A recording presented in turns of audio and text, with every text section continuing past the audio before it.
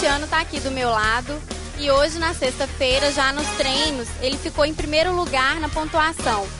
Mediante a isso, qual que é a sua expectativa em relação à corrida no domingo? Ah, é sempre bom começar os treinos na frente, né? É, o carro se comportou de uma maneira bem legal, bem bem Já dá uma expectativa legal para a corrida aí, quem sabe brigar pela pole e largar em primeiro, na classificação amanhã largar em primeiro e tentar na corrida fazer melhor para tentar ganhar. O que, que você está achando da estrutura aqui do Space? muito legal, muito bacana. É, a gente veio de São Paulo ainda, não tinha ideia daqui, que é uma pista totalmente nova para nós. Então é, a estrutura é bem legal, gostei bastante. A gente veio com uma, uma ideia diferente do, do que, a, que, a, gente encontrou aqui. Uma receptividade muito bacana por parte de todo mundo aí. Então a estrutura da pista também tá bacana. Lógico, tem, dá para ser feita muitas melhorias ainda, mas essa é a primeira etapa, até se ter uma conversa que numa corrida futura, até quem sabe no ano que vem, fazer uma, eu estava à noite aqui, vi a iluminação do autódromo, é perfeita, fazer uma corrida noturna, ia ser bem legal. É, primeira corrida no automobilismo brasileiro noturno ia ser bem bacana aqui, é uma pista que comportaria isso. Então eu gostei bastante, bem legal a estrutura do autódromo aqui no Magspace. Obrigada, nossa equipe deseja para você uma boa sorte no domingo. Obrigado, valeu, um abração. Tchau, tchau. Mega Space, sintonia com esporte e adrenalina para você. Eu estou aqui com o Felipe Lapena e hoje no treino ele ficou em segundo lugar na pontuação. E me conta aqui um pouquinho da sua história no automobilismo. Ah, eu sou bem, né?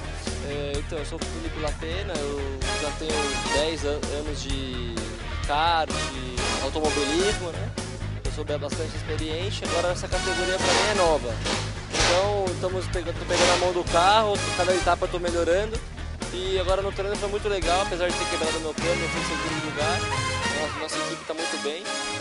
E tem, acho que tem grande chance de a gente disputar a pole position e tentar ganhar as duas corridas para no final disputar o campeonato.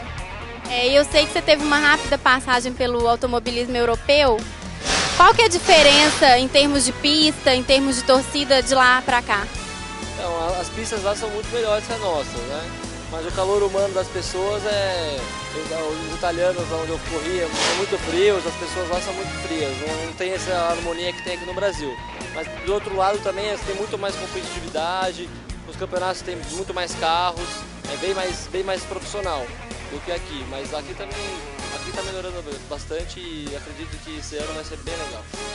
O nosso circuito aqui ele é para vocês até então ele era desconhecido, né? Curto. É, já aconteceu de você correr num circuito curto assim? O que, que você está achando? Então, um circuito igual a esse eu nunca tinha corrido com esse tipo de carro. Ele é bem travado, parece lembra o tempo do kart. Mas eu gostei, eu achei que, eu achei que não ia dar para fazer as coisas muito bem, na hora que o carro foi para a pista foi bem legal. Deu para depois se divertir, se, é, se divertir bastante. E acho que a, a, ultrapassagem vai ser bem difícil porque não tem espaço para dois carros fazer a mesma curva. Então acho que na corrida quem largar na pole tem grande chance de ganhar. A gente deseja para você uma boa sorte no domingo. Obrigada. Obrigado a todos aí, um abraço. É isso aí, Mega Space, sintonia com esporte e adrenalina para você.